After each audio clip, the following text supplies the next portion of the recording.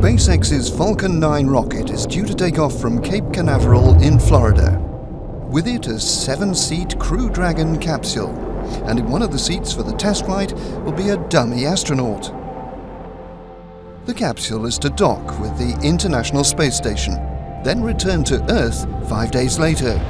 The aim is to ensure that future flights will be safe for humans.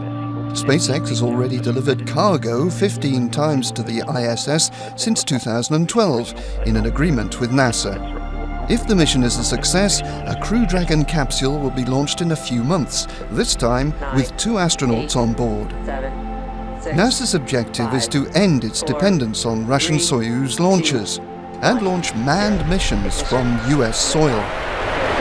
It's the first time NASA has agreed to allow a commercial company to transport its astronauts.